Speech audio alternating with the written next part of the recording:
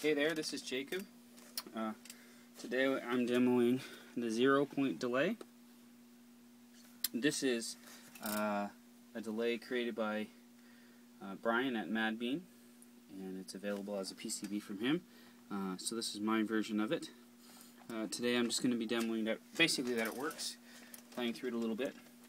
Uh, my name's Jacob. I'm playing through a Les Paul copy into an old Fender Vibro Champ. Got DiMarzio's in this Les Paul. It's pretty generic sounding.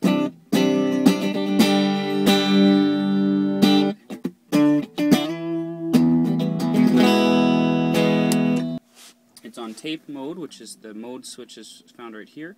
We've got rate, depth, mix, repeats, and delay. The repeats knob is very sensitive, so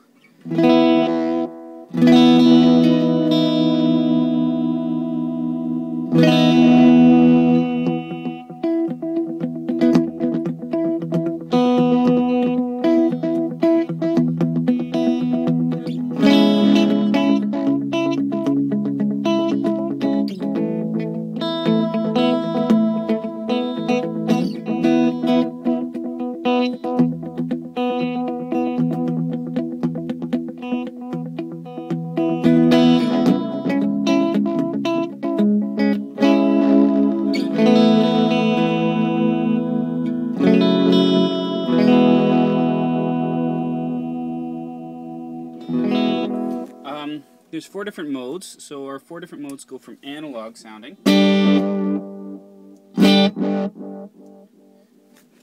To tape sounding.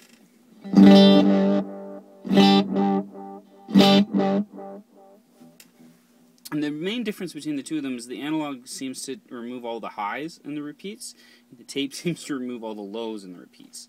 Shimmer mode, sort of, it's not really real shimmer, but it's sort of the, the noisiest, and actually if you turn the repeats up, it sort of gives you this really interesting wash.